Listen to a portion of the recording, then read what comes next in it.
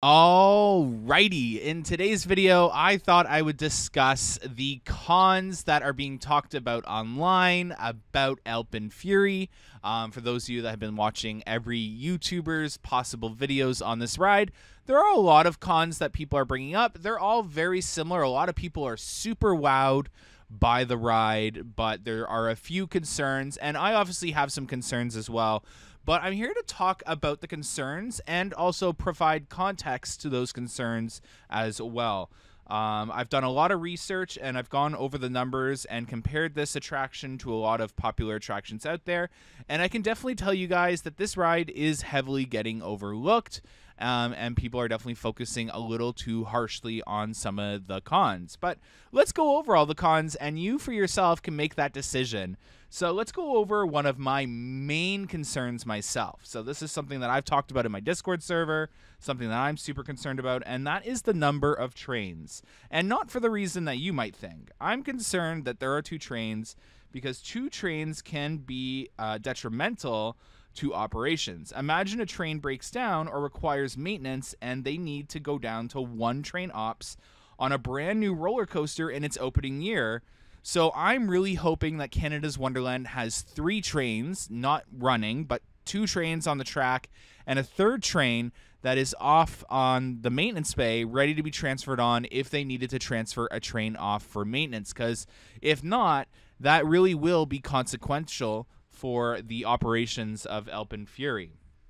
So let's go over some of the analysis online. Um, and one of the ones that I've seen a lot is too many inversions and not enough airtime.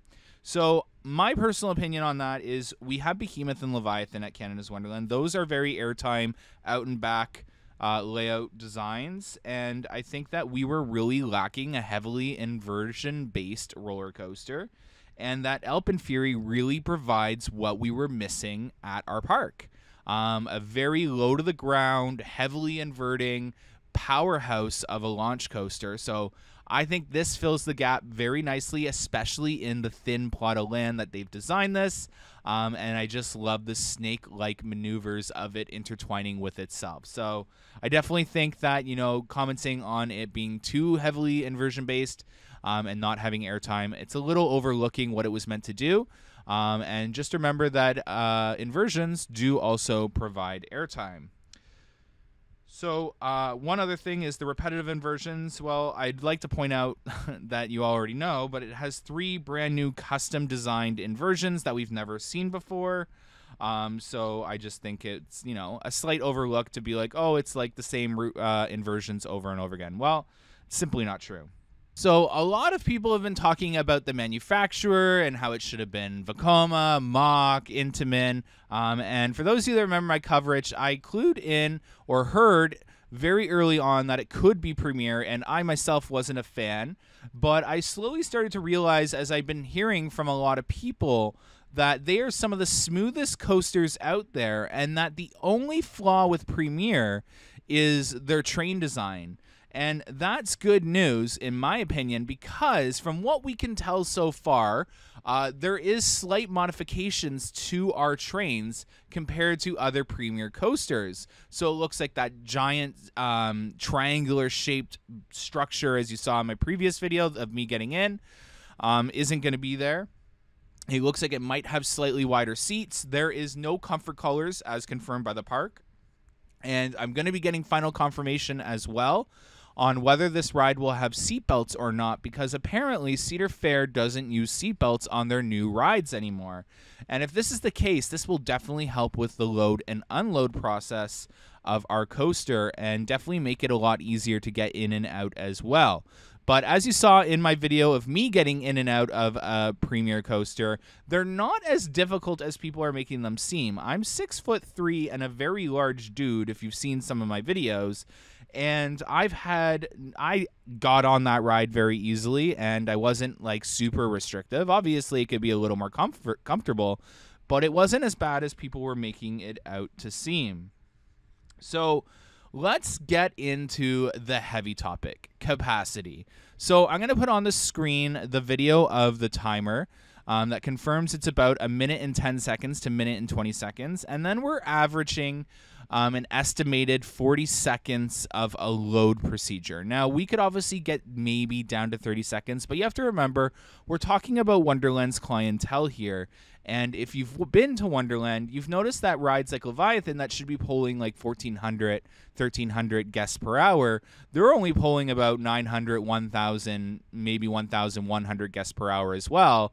And that's because of guest habits as well. So, based off of the calculations here on the screen, the equation to calculate capacity, we're looking at about 1,080 riders per hour using the equation of persons per hour. And I want to point out that that is a higher persons per hour than a coaster like Maverick. So Maverick is listed on the manufacturer's website as potentially being able to bring in like 1200, 1300, I can't remember what it was, guests per hour, but the actual theoretical is 960 if I'm not mistaken, 980 um, guests per hour that the park actually gets. So I just wanted to point that out because Maverick is also a significant attraction at Cedar Point.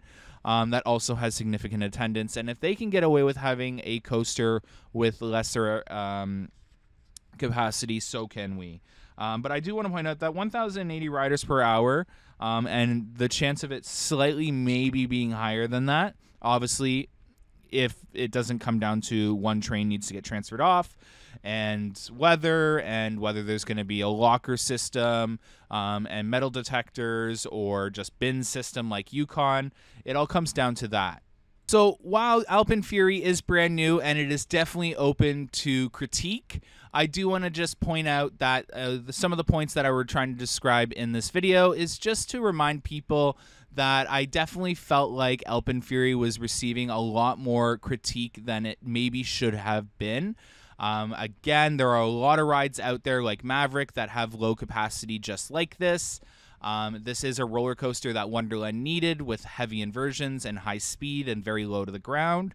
Um, and that even big rides like B&Ms that boast really big um, capacity numbers at a park like Wonderland, they aren't really able to pull those numbers despite being able to on the typical. It's a, it's a park that with the seatbelts and the bin systems and guests having to place their loose articles in the bins, it just hasn't worked out in the park's favor. So I'm really hoping for a locker system or a Yukon Striker bin system at minimum. With it going over the paths, I really do think that we're going to be looking at a locker system with potential metal detectors. And if the ride also has no seatbelts, um, and it definitely has no co- comfort collars. We're really looking at that 1,080, maybe 1,000 um, 200 riders max um, in best conditions possible um, for operations. So, really hoping that uh, we are looking at a coaster like that because that would erase everyone's concerns. But hopefully, this video helped answer any of your questions that maybe you had on some of the cons on the ride or helped calm you down. Um, comment down below if you have any questions, comments, or concerns about Alpenfury, and I'll try and answer them if I can. Um, anyways, thank you so much. Have a good one, guys. Bye.